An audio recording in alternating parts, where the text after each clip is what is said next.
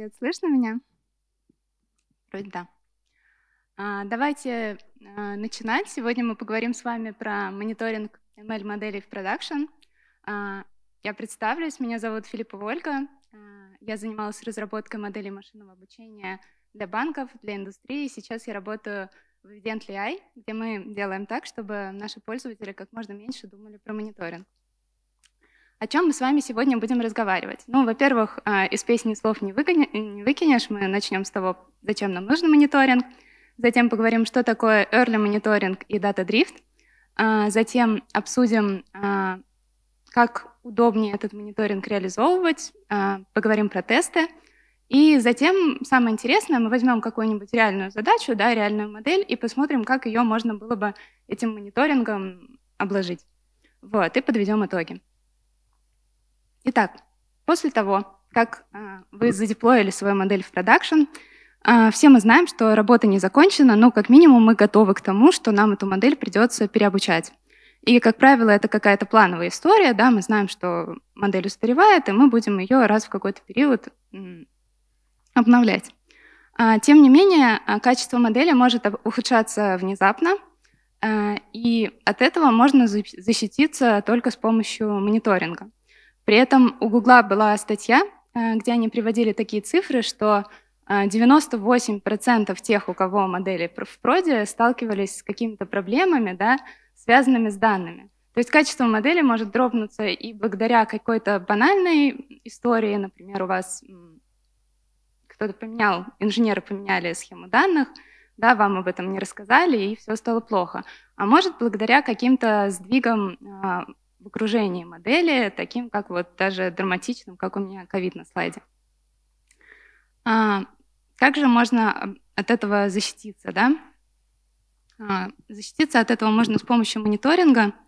А, и прежде чем мы обсудим, с помощью каких методов это надо делать, давайте а, быстренько пробежимся, чем мониторинг сервиса с ML-моделью отличается от а, мониторинга сервиса с каким-то обычным ПО. Ответ здесь такой. А, мониторинг сервис Health нам все равно нужен. А, да, нам нужно, чтобы сервис нашей моделью принимал запросы, отдавал правильные ответы, а, как-то там не тормозил, да, но при этом нам еще надо следить, чтобы следить, что данные, которые попадают в модель, с ними все в порядке, и что модель продолжает выдавать полезные предсказания. Да? То есть если с моделью что-то случится, как правило, она не будет вам выкидывать какой-нибудь exception или писать ошибка, она будет продолжать э, выдавать какие-то циферки, которые вообще-то очень на вид похожи на то, что было прежде. А, и еще что здесь хочется заметить, да, классический мониторинг — это э, такой уже очень устоявшийся процесс. То есть э, там есть какие-то best practice, есть какие-то не только по а, тому, какие сигналы собирать, да, там типа от Google, от Google есть по Golden Signals, есть Red, еще какие-то можно нагуглить.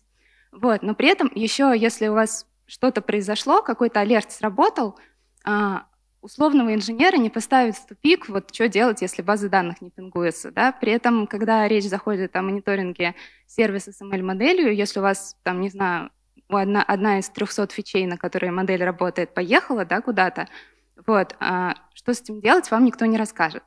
Вот, так что тут а, все это еще разрабатывается, эта область еще исследуется. Итак, а как же нам а, узнать о том, что с нашей моделью что-то не так? Первое, что можно сделать, самое лучшее, что можно сделать, это смотреть за метриками, которые вы измеряли, когда эту модель разрабатывали. Если у вас еще и какие-то бизнесовые или продуктовые метрики доступны, то вообще замечательно. Вот. И здесь, а, чтобы это делать, необходимо, чтобы мы сразу в моменте имели правильные ответы. Да, это выполняется для таких задач, как рекомендации. Да, вы пользователю их показали, он сразу ткнул, и вы поняли, вы угадали или не угадали, или он их проигнорил, или какие-то сервисы с подсказками, где вы подсказываете, как закончить предложение, и пользователь либо с вами соглашается, либо не соглашается. Тем не менее, а, довольно много задач, а, где такая роскошь, как а, правильные ответы, в моменте недоступна. Наверное, самый классический пример здесь это отток, да, то есть э, в некоторых областях отток формализован, что типа пользователь в течение двух или трех месяцев должен там что-то делать, чтобы или не делать, да, чтобы понять, он остался отточным там или не остался. Вот. И получается, что вам столько времени надо ждать, чтобы узнать, что вот в той точке вообще-то ваша модель уже была не окей. Вот. А, и что же в таком случае мы с вами можем сделать с таким набором данных? И давайте уточним, с каким набором данных, чтобы дальше говорить на одном языке. Да? У нас есть uh, current data, это тот кусочек данных, который мы отскорили, и хотим убедиться, что мы это сделали плюс-минус нормально. Да? У нас нет правильных ответов, мы никогда не узнаем правды, но хоть как-то проверить, что, что наша модель выдала, нам хочется. Вот. И у нас есть reference data. Reference — это некий образец данных, на которых ваша модель работает uh, с качеством который вас устраивает. Вот, то есть это чаще всего э, валидационный сет данных. Вы обучили модель на каких-то данных и на валидации проверили, да, устраивает вас качество или нет. Вот, так что это то, что у нас есть, э, и дальше давайте обсудим, что с этим можно делать. Можно применять э, методику early мониторинга, э, что тут, э, из, чего на, из чего состоят эти проверки вообще. Ну, во-первых, вы проверяете должны всегда качество данных, это проверки скорее не на то, насколько там мир вокруг модели а, изменился, да, это проверки, а, это защита от каких-то инженерных ошибок, от того, что кто-то поменял схему данных или там от того, что у вас какой-то источник отвалился. Вот это вот все а, надо обязательно проверять. Ну и кроме того, можно а, измерять а, data drift и output drift. А, что понимается под дрифтом? А, дрифт — это когда у вас распределение изменилось, да? то есть у вас распределение на каренте уже не такое же, как распределение на референсе. Вот. И этот дрифт можно смотреть для данных, да, то есть в модель стали поступать данные, и они какие-то не такие, как были, когда вы модель эту валидировали. Вот. И а, сдвиг в данных не всегда э, влечет какие-то последствия, да, в, ну, в не, не обязательно качество модели после этого упадет, как на моем слайде. Но если дрифт данных происходит в каких-то важных вещах, то, наверное, тоже неплохо бы об этом знать и, не знаю, может, с бизнесом поговорить, что происходит. То есть эта информация всегда интересная. Ну, а кроме того, что можно мерить дрифт а, в данных, можно мерить дрифт ваших предсказаний. Да? То есть если раньше модель предсказывала ноликов к единичкам, там 1 к 10, а стала предсказывать 1 к 100, то это точно что-то, с чем вы хотите разобраться, да, и дрифт в предсказаниях — это уже более сильный сигнал, что что-то поменялось, что-то происходит. Возможно, вам ну, следует а, на это на все посмотреть.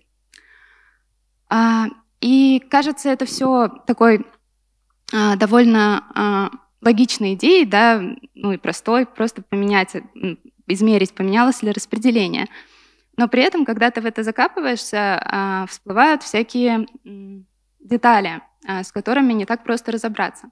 То есть вот, например, глядя на эту картинку, владельцы какой-то модели сказали бы, что это очень сильные изменения в фичах, и они бы хотели об этом знать, чтобы провести расследование вообще, что произошло, и, может, даже пересобрать модель. А кто-то бы на это посмотрел и сказал, что ну, мы это видим от периода к периоду, такие флуктуации вообще обычное дело. Да? То есть под каждую задачу а, понятие был дрифт, оно как бы свое. А вторая проблема в том, что Вторая проблема в том, что дрифт очень сложно как-то формализовать, а, построить какую-то интуицию, да, что такое размер дрифта вообще. То есть у нас есть очень много каких-то а, критериев, методик, которые пытаются количественно измерить, насколько изменилось распределение, но, допустим, если взять какие-нибудь стат-критерии, да, то за p каким-то условным у вас вообще нет интуиции, а насколько что сдвинулось. Да? То есть вам p это ни о чем не говорит. Вот. И чаще всего люди, чтобы посмотреть, а был ли дрифт, просто смотрят на него глазами. И это, ну, в этом нет ничего плохого, это действительно достойный метод, да, вы знаете вашу задачу, вы знаете, как это там плюс-минус выглядит. Вот. Но глазами, конечно, смотреть хочется поменьше. Вот, поэтому мы в Evidently провели небольшое исследование, где мы взяли пять самых популярных критериев для измерения дрифта а, и проверили, какая у них чувствительность, что они вообще, в принципе, изменяют, измеряют, да, чем они отличаются, чтобы а, себе в продукт выбрать какой-то критерий там по умолчанию или какой-то алгоритм выбора критерия а, сделать. Да. Вот. И я поделюсь с вами результатами быстренько, без подробностей. Просто, мне кажется, это очень довольно интересно. А, мы в своем эксперименте проверяли критерии Колмогоров-Смирнов тест, но то, что я сейчас скажу, относится ко всем э, статистическим тестам. А, они все обладают такой особенностью, что у вас чем больше размер выборки, а, тем эти тесты чувствительны, чувствительнее. То есть, а, если вы хотите мерить дрифт для мониторинга статистическими тестами, то вы вообще-то должны провести мощностной анализ для каждой фичи, которую вы хотите проверить. Вот, то есть кажется, что это вообще не те усилия, да, которые мы хотим прилагать, чтобы просто мониторинг наладить, вот, но при этом взять и начать их использовать из коробки не получится, потому что вот может начаться вот такая фигня, потому что они абсолютно из коробки не работают. Они очень сильно зависят от размера сэмпла. А, поэтому, если у вас э, не, речь не идет о какой-то задаче, связанной там, с медициной, с химией, да, где какая-то ювелирная точность должна быть, и вы, в принципе, то, чтобы эту задачу собрать, там, эти данные вдоль и поперек излазили, все знаете, да, то вот а, статистические тесты — это не точно не то, на что стоит обращать м, внимание в первую очередь. А, следующий у нас критерий — это PSI, Population Stability Index. А, здесь же на слайде да, приведены Кульба-Клевер, дивергенция и Джейсон Шеннон Distance. Я их объединила, потому что они дают очень похожие результаты по чувствительности, и считаются они тоже очень похожи. А, чтобы их посчитать, да, нам надо распределение на каренте и на референсе нормализовать, да, затем референс разбить на бины, затем эти бины э, наложить на current — и дальше вот в каждом бине мы считаем какую-то циферку, чтобы оценить, насколько она не похожа друг на друга. Да? В PSI в конце это все еще и суммируется. Вот. И а, здесь, глядя на формулу, мы видим, что эта формула умеет принимать значение бесконечность. Да? Тут надо, а, ну, в основном там ставят какие-то заглушки, да, там небольшое число, но при этом все равно, а, если у вас каких-то данных не было, и они появились на каренте, эта метрика принимает очень большое значение, и если это, а, если такое поведение не целевое, да, то, опять же, от нее следует отказаться.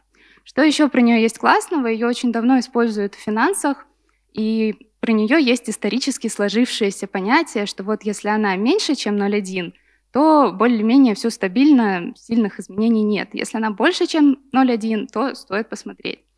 Вот. И она действительно хорошо работает, когда вам нужно задетектить какие-то большие изменения, да, но у нее есть а, недостаток. Короче, когда а, если вы вот взяли этот критерий, попробовали его и поняли, что он недостаточно чувствителен, куда вам двигать вот это 0,1, абсолютно непонятно, потому что вот тут, как я говорила, в примере с p-value, да, у вас за этой цифрой, которая выдает PCA, нет никакой вообще интуиции. Да? То есть если вам 0,1 не подошло, насколько ее куда двигать, уже а, непонятно, потому что она ну, абсолютно неинтерпретируема.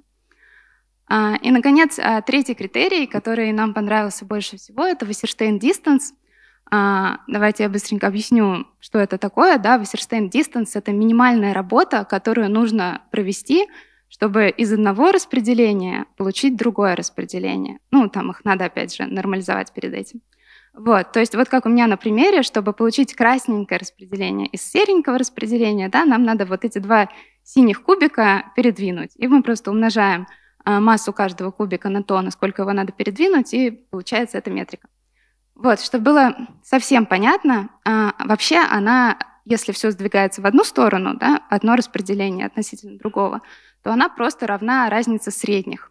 Вот. При этом лучше, чем разность средних, она тем, что если у вас а, подсегменты в разные стороны поедут, то Wasserstein distance это учтет, а разность средних их, скорее всего, там взаимозачтет, и разница очень маленькая получится.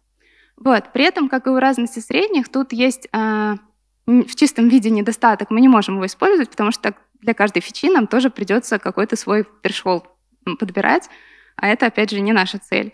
Вот, поэтому надо его на что-то нормировать. Мы его нормировали на Standard Deviation, вот, на STD. И э, вот эта история получается довольно приятной с точки зрения интерпретации. Во-первых, по чувствительности ее тоже можно там выкрутить, чтобы она была как PSI или поменьше, но при этом здесь получается, вы что меряете? Вы меряете какой-то эффективное смещение среднего да, относительно меры ширины распределения.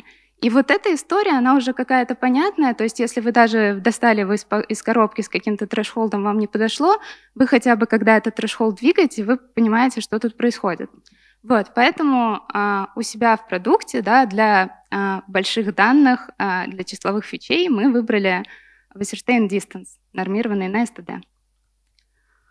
А если вам интересно про исследование, которое я рассказала, я приглашаю вас в наш блог. Там все намного подробнее, с графиками, с какими-то попытками двигать сегменты. А главное, там есть код, который можно потом применить как-то немножко к своим данным. А, окей, про необходимость мониторинга мы обсудили. А, про то, что делать, если нет правильных ответов вовремя обсудили. Давайте теперь перейдем к тому, а как, собственно, лучше этот мониторинг организовывать. А, первое, что приходит в голову, это собрать какой-нибудь классный дашборд, и дашборды, они действительно красивые, удобные, но все-таки цель наша не сидеть и не смотреть на дашборд в целом. Конечно, если все время на него смотреть, есть шанс что-то что там увидеть, да, но тем не менее, наверное, про мониторинг хотелось бы вообще не вспоминать, а, если все в порядке, да, и если что-то нарушилось, тогда уже вспоминать. Вот. И это удобнее всего реализовывать с помощью тестов. То есть здесь вы можете а, сформировать какие-то ожидания четкие, да, когда что-то идет не так, вот, встраивать их в любой свой пайплайн, и если все нормально, тесты проходят, да, вы просто проскакиваете на следующий шаг. Если тесты заваливаются, то тут уже позови человека, короче, и вот он уже открывает дашборды и начинает смотреть, разбираться, в чем проблема. Ну и, наконец, давайте перейдем к реальному примеру и посмотрим, куда мы со своими тестами там можем встроиться. Давайте представим, что мы рассылаем пользователю рекламу раз в неделю. Вот. И а, правильные ответы, принял ли пользователь наши, простимулировали ли мы пользователя что-то у нас купить, приходят в течение одного месяца. Как это выглядит? Да, у нас с разных а, источников данных а данные стекаются в хранилище. Далее, чтобы из сырых данных сделать э, фичи для модели, мы там что-то мержим, проводим какие-то операции. Затем моделью скорим э, пользователей и берем из них какой-то, э, да, сортируем э, предсказания модели и берем из них какой-то топ. Вот. Самые вероятно что-то купят, э, те, кто вероятнее всего что-то купят, отправляются у нас да, на рассылку. А, и куда же можно встроиться с тестами и что-то там проверить? Ну, во-первых, когда у нас появляются новые данные, их накапливается достаточно, да, и мы хотим а, рассчитать фичи для фичи стора, здесь можно а, встроиться и проверить а, качество данных. Далее, а, когда приходит время отскорить а, наших пользователей, кому идет рассылка, у нас тут все еще нету правильных ответов, но здесь мы можем проверить а, по технике раннего мониторинга, которую мы обсуждали, а, на дрифт данные. Затем а, проходит месяц, правильные ответы пришли, и мы хотим рассчитать, а какое все-таки было качество, да, с каким качеством сработала наша модель, чтобы куда-то его там, не знаю, в дашбордик положить, показывать а, бизнесу, как мы хорошо работаем, там, и куда-то в базу записать. Вот. Ну и, наконец, четвертый пункт, он опциональный, не, не всегда там включен в жизненный цикл модели, но тем не менее, если пришло время модель пересобрать, если вы там обзавелись какими-то новыми источниками данных, да, получили какие-то новые фичи, когда прежде чем эти фичи в модель а, подать, можно проверить, а насколько они вообще для этого подходят. Вот. Сейчас мы по каждому а, этому этапу пройдемся поподробнее. А, проверять... А, а, да, все это, все, что мы сейчас будем обсуждать, будет... Мы будем использовать тесты из open source библиотеки Evidently. Возможно, вы когда-то видели наши дашборды. Тесты — это новая штука, которая как раз создана для того, чтобы легко интегрироваться в пайплайны. В чем здесь особенность? А, во-первых, у нас довольно большой каталог тестов, которые можно взять и настроить под себя как нравится. А, во-вторых, а, у нас есть наборы тестов, которые подогнаны под определенную задачу. То есть все, что я на прошлом слайде говорила, для каждого пункта у нас есть свой пресет. Вот. То есть можно просто его импортировать, можно просто туда обратиться, об, обратиться за вдохновением, да, за идеями. А, ну и, наконец, а, очень важная фишка, да, мы постарались, хотя наши тесты можно настроить, как вам нравится, мы а, очень большое внимание уделили дефолтным значениям. То есть а, все наши тесты можно а, вызвать вот с пустыми скобочками из коробки, просто передать туда референс, передать туда current, и всякие дефолты мы рассчитаем уже сами. Собственно, я так долго рассказывала про а, критерии, которые для дата-дрифта мы подбирали, да, чтобы в том числе тоже показать, что к дефолтам мы относимся очень серьезно и не бросаем своих пользователей с тем, что вот, ну, есть все критерии, критерии мира, и ты уж выбери какой-нибудь для, свой, для своей задачи, да, это, ну, довольно неудобно, когда речь идет о мониторинге, на который обычно ну, времени там с ним много возиться нет. Вот. Ну и, наконец, а, все тесты, результат тестов можно получить в JSON или можно получить в репорте, где по каждому тесту есть какая-то картиночка, которая может помочь понять, а что, собственно, пошло не так. А, ну и просто пример кода, да, когда ты сам настраиваешь тесты, выбираешь для них стат-критерии. Я тут еще а, заленилась сделать вид, что мы сами по референсу рассчитываем эти какие-то какие трэш-холды, да, вот. И сразу для, для сравнения, как это можно сделать из коробки, когда мы просто рассказываем в колумн маппинге да, про а, то, да, вот мышка, вот, про то, а, что какие колоночки у нас в датасете означают, да, просто импортируем, задаем один тест-сьют, и все, тест-сьют, run, и у вас все готово. Вот. А, ну а теперь давайте а, к деталям по нашим этапам. Итак, а, когда мы проверяем а, качество данных, да, то, что мы обсуждали в начале, когда нам надо отловить а, всякие инженерные косяки, что можно посмотреть? Во-первых, можно посмотреть размер батча, да, что у нас в этот раз не 8 строчек, а примерно обычное количество а, данных, да, которые мы вот от месяца к месяцу рассчитываем.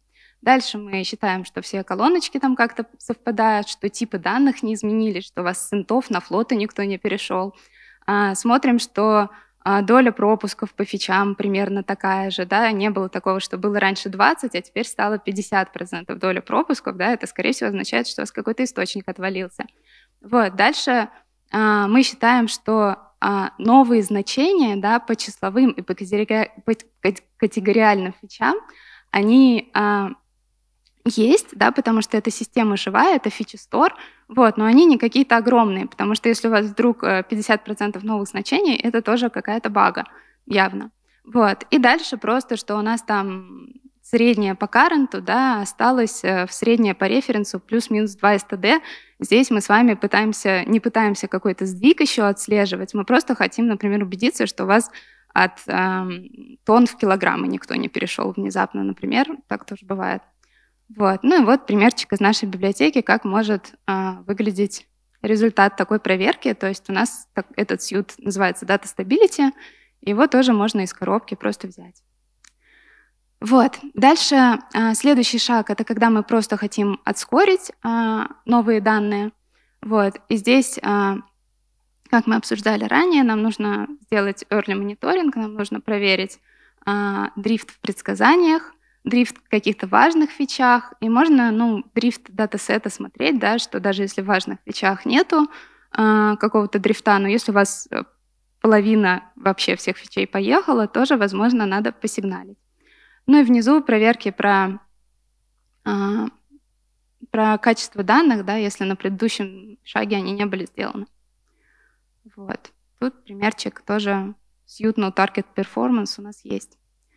А, наконец, когда пришли правильные ответы, а, мы должны проверить качество, да, поскольку мы берем какой-то топ, это, скорее всего, нас интересует Precision топ-К, Recall для информации можно посмотреть, и, ну, Рокаук, мы на него, и когда обучали модель, все-таки смотрели, и приятно о нем знать. Кроме того, можно посмотреть а, дрифт в таргете, да, нам уже известны правильные ответы, но это уже на то, что чтобы понимать, насколько в действительности как-то поменялось да, а, а, окружение, в которое работает модель, что изменилось.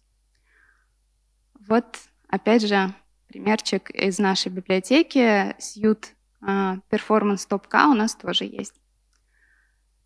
И, наконец, а, последний вот этот вот опциональная проверка, да, когда мы, не знаю, если мы вдруг, когда переобучаем модель, заново отбираем фичи, да, то это точно надо вставлять. Тут мы просто проверяем, что у нас то, что попадает в модель, а, для этого просто подходит. Да? Мы просто смотрим, что у нас там в модель не попадают пустые фичи, константные фичи, почти константные фичи, какие-то дублирующиеся фичи, а, фичи, которые очень сильно скоррелированы с таргетом, да, потому что если они прям почти один в один, кажется, это какая-то утечка. Вот, и так далее. А, опять же, пример из нашей библиотеки. У нас институт называется Data Quality. И вот этой штуки в нашей библиотеке нету, но э, я всем очень рекомендую ей пользоваться. Э, это называется Golden Test Set, когда у вас есть небольшой наборчик данных, для которых вы знаете правильные ответы. Он может быть собран экспертно, да, он, например, у вас там поисковик, и вы точно знаете, какие должны быть ответы на какие-то запросы. Вот. Он может быть собран как-то искусственно, например, вы просто берете на истории какие-то кейсы, на которых ваша модель очень уверена, что это хороший кейс, и это действительно хороший кейс, и вы глазами на это смотрите, что это а, логично, и ваша модель должна этот объект отскорить высоко, да. То есть это не должен быть кейс, когда там типа вы вот смотрите на этого заемщика и, такой, и такие, ой, надо же, он вернул, вернул кредит, никто от него не ждал, а он такой молодец, да, нет, это что-то должно быть вот прям а, базовое, уверенное. Вот. И далее этот тест, этот наборчик свой, а, вы каждый раз, когда модель переобучаете, да, вы ее на этом наборе прогоняете и как бы просто проверяете, что она лево-справа не попутала, что там как бы все нормально осталось. А, вот. И давайте напоследок, а, если кто-то в начале пути еще не обвешал свои модели мониторингами, еще даже не начинал, давайте я дам несколько советов, как можно начать. А, ну, первый совет — это качество данных проверять. Это просто необходимо. Без этого нельзя. А, вот эти вот инженерные косяки, они самые частотные, да, то есть проверочки легкие, польза огромная. Вот прям это надо делать. Есть у вас правильные лейблы, нет у вас правильных лейблов. Вот прям все должны это делать. А, и дальше вы, у вас два пути. Путь первый, когда у вас особо времени нет — вы просто можете мониторить начать. Вы можете взять что-нибудь с какими-то разумными дефолтами, да, и просто мониторинг этот подключить, далее у вас будут false alerts, далее у вас будут missed alerts, и вы будете просто его там подкручивать под себя. вот, то есть вы просто начнете и все. То есть мониторинг, он вообще итеративный процесс, его все равно придется подкручивать, вам просто сильнее, наверное, придется подкручивать, если просто взять его из коробки. Вот, но это, ну, отличная идея, если до этого не было ничего. Вот. А вариант второй — это если у вас есть а, время на какие-то исследования, и здесь вы можете а, проверить а, на исторических данных да, свой мониторинг заранее подключ... подкрутить. То есть вы можете взять а, период, на котором все было стабильно, никаких сдвигов не было, качество модели не дропалось, да, и то, что вы выбрали, вот там проверить те критерии, которые вы выбрали, и убедиться, что оно не, не дает вам каких-то false alerts. Вот. А затем вы можете взять а, период, когда все было плохо, когда что-то случилось прям грустное, и посмотреть, а задетектили ли это а, ваши критерии. Вот. Скорее всего, таких периодов будет очень мало все-таки. Такое происходит нечасто, да, вот. Э, вы можете их сымитировать. Вы можете э, в данный дрифт добавить там искусственно. Допустим, вы знаете, что у вас какой-то сегмент, какой-то чувствительный, вариативный, его там куда-нибудь подвигать и посмотреть, а, отлавливаете вы это или нет. Ну и, в принципе, вообще хорошая идея, да, побольше об этом подумать, например, пройтись по, для себя по вопросам, что я буду делать, если какая-нибудь из моих а, важных фичей поедет. Что я буду делать, если в важной фиче появилось какое-то новое значение, которого не было, да? А что я буду делать, если в неважной фиче так произошло? Вот, то есть вам нужно а, все-таки, ну, нет цели завалить, завалить себя алертами, да, все-таки хочется какое-то раз, на каком-то разумном множестве остановиться, и вот такое упражнение вам с этим поможет. Ну и кроме того, можно пофантазировать еще один список вопросов, которые можно себе задать. Это э, представлять все самое страшное, что может случиться с вашей моделью, да, и э, думать, а как бы я мог заранее из данных об этом узнать. Вот. Э, вот такая работа обычно вытаскивает на свет кучу каких-то нюансов, и, в общем, она, конечно, очень полезная. И последний совет сегменты надо а, мониторить отдельно, если у вас от сегментов зависит качество модели и их состав, это нормально, что их состав меняется. Да? Давайте поясню. То есть если у нас на заводе есть два материала, а, на одном материале изделия получаются с большим количеством дефектов, на другом материале изделия получаются с маленьким количеством дефектов, а вы это количество дефектов и прогнозируете. Вот. А, и при этом на заводе вообще нормальная история, что в какой-то месяц одного материала сильно больше, в какой-то месяц другого материала сильно больше. Если вы качество и дрифты будете мониторить по общей совокупности, у вас все время все будет алертить, потому что а, изменился состав просто, да, вот сегментов. А, а если вы будете мониторить в каждом сегменте качество отдельно, то вы этой а, проблемы избежите. Давайте подытожим, что главная мысль здесь а, модели без присмотра не оставлять, а, пробовать встраивать а, в свои пайплайны тесты, потому что это удобно.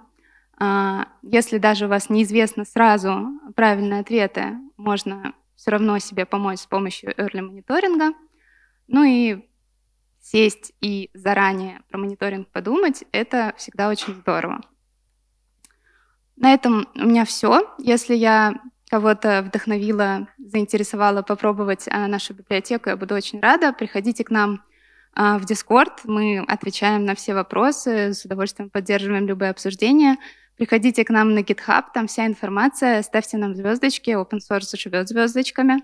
Вот. И если у вас есть какие-нибудь вопросы, я с радостью на них отвечу.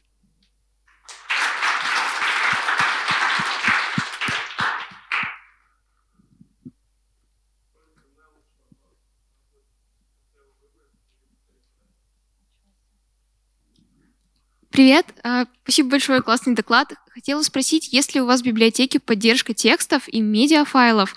А, и если есть, ну если нет, в принципе, как это можно реализовать? Вот как видишь? А, у нас сейчас в библиотеке поддерживаются только табличные данные, тексты, картинки. Мы сейчас с ними не работаем, потому что нам хочется довести вот табличные данные до того, чтобы их из коробки было очень классно использовать. По поводу текстов, а, ну, как идея всегда можно мониторить вот это вот качество, да, там prediction drift, вот эти вот штуки никуда не уходят. Но по поводу того, как мониторить фичи, я тут, к сожалению, не подскажу, потому что мы пока не исследовали эту область. Спасибо. Спасибо за доклад, очень интересно. Вот такой вопрос. А как, как вы думаете, имеет ли смысл в плюс к тестам, которые вы перечислили, еще использовать бенчмаркинг? Или лучше на это время не тратить? То есть взять какую-то бейзлайн модель или взять модель с похожей архитектурой, но без там особого файн-тюнинга и сравнивать эти штуки. То есть получить еще одну метрику, разницы бейзлайна и продакшена. Ну, я бенчмарки очень люблю в плане, когда модель э, делаешь, да, то просто очень-очень часто бывает, что ты просто приходишь, заменяешь модель на средний по сегменту и понимаешь, что можно и без модели. Вот. Но по части выявления каких-то проблем кажется, что это не даст какой-то новой информации. Да? Ну, ты когда строишь модель, ты проверяешь, что она лучше бенчмарка. И у нас, кстати, в Evidently я упоминала, что у нас есть дефолты по референсу. Там, где в тестах у нас нет дефолтов по референсу, мы вот как раз а, ну, для качества модели мы как раз делаем эти бенчмарки, да, то, что ты сделал модель, у тебя нет референса, но окей, давай мы сравним с рандомом, короче, то, что ты получил. Вот. Но это кажется все э, уже в стадии не когда ты сравниваешься с тем, что у тебя раньше было, и ты просто хочешь, что, что у тебя не ухудшилось, а просто когда ты э, конструи... ну, модель конструируешь. Строишь. Спасибо. Спасибо.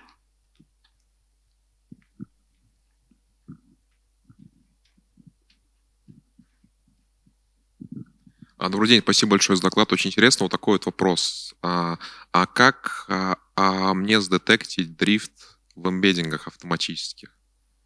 То есть там у меня есть какое-то векторное представление, допустим, там эмбеддинги на основании кликстрима, и вот, а, а, да, понятно то, что можно применять какие-то техники по отношению к каждой из колонок, там размерности, но по отдельности это же не имеет смысла. Нам же важно, сколько объектов вот в, в, в n пространстве бьются. Ну, а, мне кажется, что тут это похоже немножко... Действительно, есть такая тема, да, что когда ты а, хочешь а, по фиче по одной узнать, то ну, когда у тебя фичи для тебя имеют смысл, короче, то да, а когда у тебя эмбеддинги, набор векторов, тебе все равно, кто из них куда поплыл, и это больше похоже на детекцию дрифта в картинках, да, там тоже тебе не важно, что с одним пикселем происходит, и это надо гуглить техники, которые измеряют а, дрифт всего датасета. Вот. Я, к сожалению, тут не специалист, вот, но можно мне, в принципе, написать, я, я поделюсь. Сейчас прям сразу я не, не могу... Рассказать про них я точно не могу, потому что я не, раз, не разбиралась в этом еще. Вот, но картинки обычно, картинки, имбеддинги — это обычно вот это вот а, из одной оперы. Да, спасибо. Добрый день, спасибо за очень интересный доклад. А вот у меня такой вопрос. Возможно ли на основе вот ваших алертов э, давать какие-то советы дата-сайентистам для исправления их датасетов или для исправления их моделей? То есть э, накапливать вот эти алерты на основе э, вот всяких изменений в моделях и в дальнейшем уже какие-то тоже разрабатывать модели, которые будут предсказывать советы, так сказать, или вообще автоматически какие-то вносить исправления в модели, в датасеты для, э, для, для, для автоматизации, получается, полной вообще работы вот этих всех пайплайнов. А, ну, мне кажется, что это очень сложно формализовать, да, то есть э, какое-то, чтобы натянуть какое-то машинное обучение на а, на вот эти вот косяки, их должно быть такое вообще количество, да? Но это должно очень не повести, да? То есть данных должно быть очень много, оно, безусловно, накапливается, да, но все-таки проблемы — это не суперчастая какая-то история.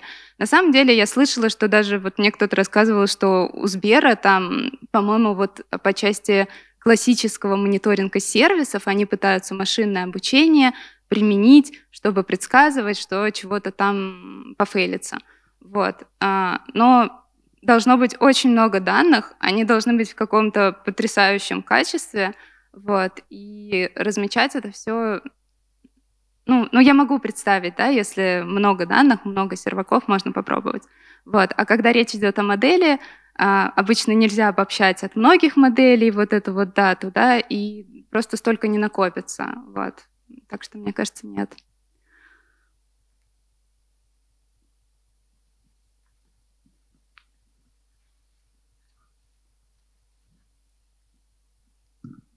А, добрый день, спасибо за доклад. А, вопрос э, в следующем. Как детектировать дрифт данных, э, что это новый тренд, то есть вот теперь данные только такие пойдут, только новые, а не какой-то резкий всплеск? Ну, мне кажется, это автоматически как-то невозможно сделать, да, то есть это, скорее всего, когда ты что-то такое видишь, ты идешь к бизнесу и спрашиваешь, э, что за фигня, и бизнес отвечает либо, ой, мы тут попробовали одну штуку и забыли тебе не рассказать, да, либо рассказывают, ты знаешь, у нас там вообще вот так теперь будет. Вот. Ну или вообще такие интересная штука, надо разобраться. То есть автоматически, мне кажется, намного хуже пытаться это как-то разобрать, чем вот человеками, да, какой-то какой логикой человеческой. Вот. Ну, по данным, конечно, ты потом уже увидишь, вернулось оно или не вернулось куда-то, но прогнозы делать, а, обладая инфофоном и пониманием вообще бизнеса, да, намного, мне кажется, а, лучше, чем пытаться это сделать автоматически.